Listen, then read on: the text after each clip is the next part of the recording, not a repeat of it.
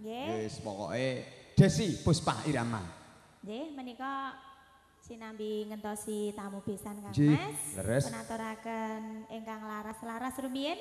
Nderek kersanipun Mbak Koro Sri. Menika langsung Jawa napa keroncong Mas? Angge pokokipun nek enten langgam bahasa Inggris nggih monggo saged mangke. Nggih langsung langgam Jawi kemawon kapurwaken bawa saking Den Kang Mas Baguse Kemo. Larasipun nderek kula Mas. jare ora langgam Jawa, Dek. Eh? Loh, kula kira jenengan tak manut aku to Mas. Oh iya iya. Ya wis manut. Saiki yo gandeng manut aku yo bareng-bareng lah. Nggih. Ya iyalah.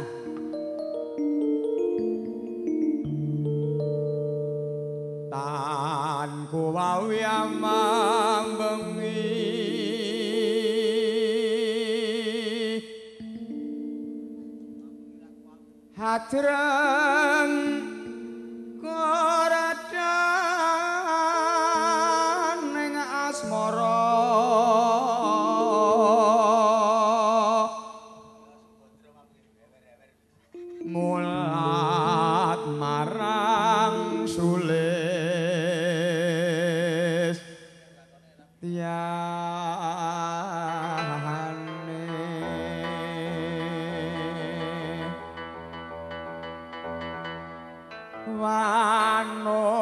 Saathiya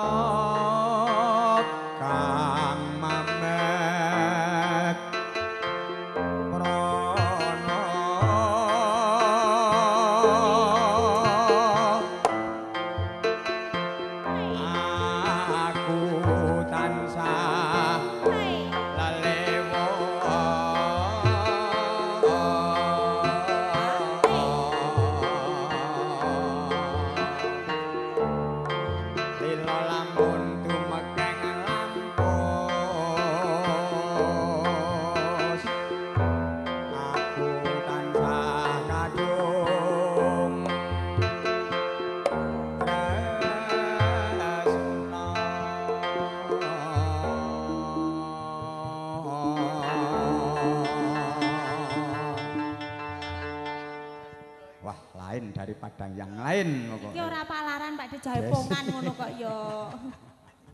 Desi Puspa Irama. Damai pun langgam derek Nduk Sri.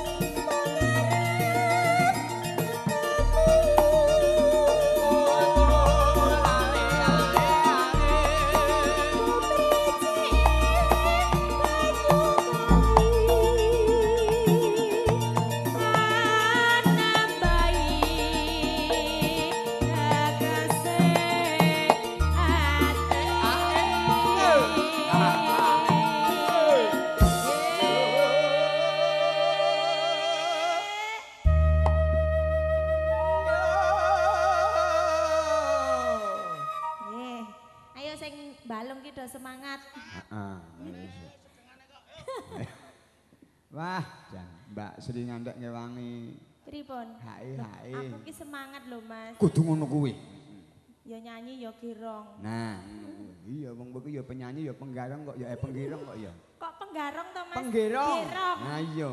Kuwi wis beda lho artine, Mas. Heeh. Ini lho.